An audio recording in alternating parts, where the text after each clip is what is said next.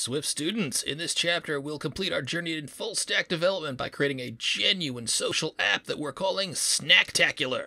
Now, this is a full stack app because not only do we rely on the computing power of the iOS device, but we will also store data in the cloud. Specifically, we'll be using Google's Firebase and Cloud Firestore products, and we'll also support multiple users who can sign in using their Google accounts. Now, here's a quick tour. Users will be able to log in using their Google or Gmail credentials, and after successful login, anyone can see all of the restaurants that have been added by users of the app. Now, users save data and it's served up via Google's Cloud Firestore database. You can sort the list alphabetically by distance from the user's device or by rating. Click a spot and you'll see all of the reviews based on a five star rating system presented in a table view along with the average review score. Want to see a specific review? You just click it. You can see who left the review, when, and read the entire review. Now, the interface in Snacktacular is context sensitive. It changes depending on the credentials of the user who's logged in. If you left a review, like I did for this Cheesy Fries review, since I left the review, I can modify the title, the contents of the review, the rating itself, or even delete the review.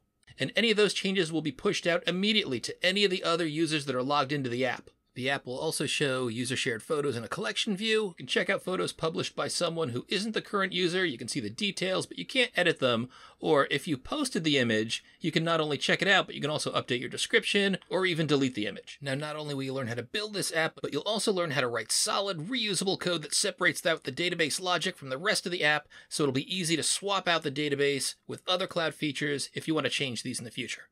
Let's take a look at how a user would add a new restaurant. So we'll head back to the initial list, we'll click plus, then we can use the lookup place feature, and that gives us full access to the Google Place Autocomplete API, its super fast lookup engine, and all of its worldwide data. Now, any location that we pick will be immediately plotted on a map, and the address will be added to the screen. And if you want to post a photo or a review for the new spot, the app will confirm that you want to save the location first, and images can be posted via camera or photo library. Here's a pepperoni pie from one of my favorite spots. And if you head back to the list of spots, you can click on the users button to see everyone who's logged into the system. Sadly, they are all me right now. I suppose I need some more friends. And now for a bit of magic. So this is the real-time database in action. On the right-hand side is the app running on a simulator in my Mac, but you also see video on the left. This is concurrent video from my personal iPhone that I'm also holding right now in my hands. I'm logged in as a different user. I'm about to add a new place. The place is called Anna's Taqueria. I'm going to add it on my actual iPhone. Here it goes. One, two, three. I pressed save. And look at that!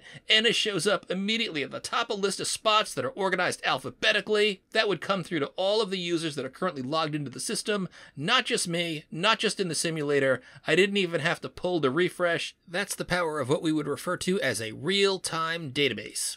And when you're done with this app, you'll have a solid foundation for building really robust professional apps, whether you're a budding entrepreneur or a job seeking professional.